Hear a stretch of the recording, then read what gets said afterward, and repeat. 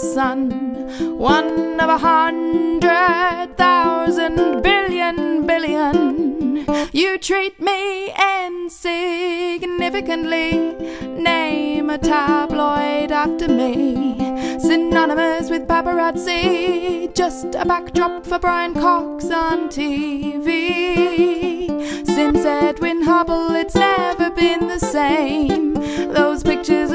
The stars pushed me out the frame.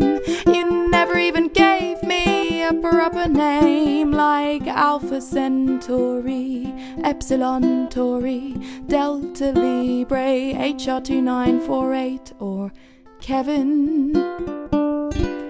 You've achieved nuclear fusion, oh well done. Made some helium from a little hydrogen. Well, every second I do that to 600 million tons. If I was Marilyn Monroe, you'd be Stacey Solomon.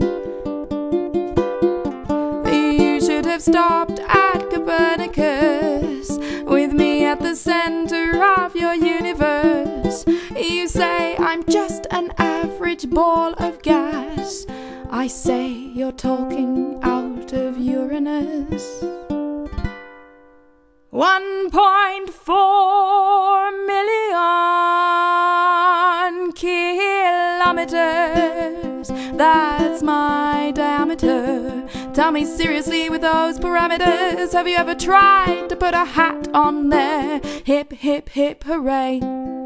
I'll be a red giant one day, and your earth will go up in flames.